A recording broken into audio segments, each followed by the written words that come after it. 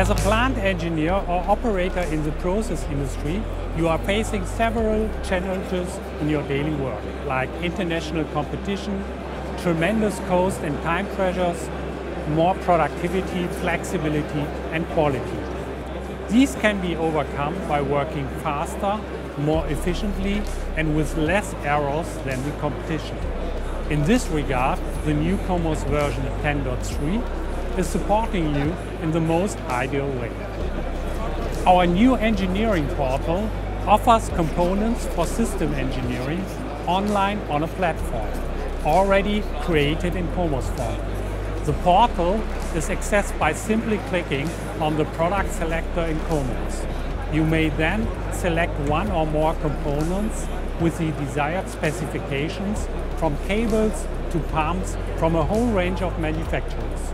No more elaboration, time-consuming customization processes and less time required for engineering. Accurate and complete bills of material can thus be created with the highest degree of quality. Potential error sources are minimized and costs for misplaced orders are reduced. In addition to the engineering portal, however, we also offer additional options as part of our software solution.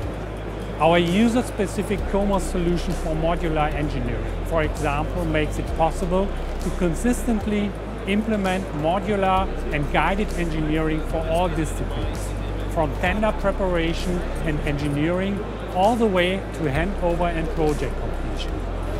Using smart templates makes engineering and design extremely efficient and optimizes the engineering workflow. This option and many more are provided by the new COMOS version 10.3.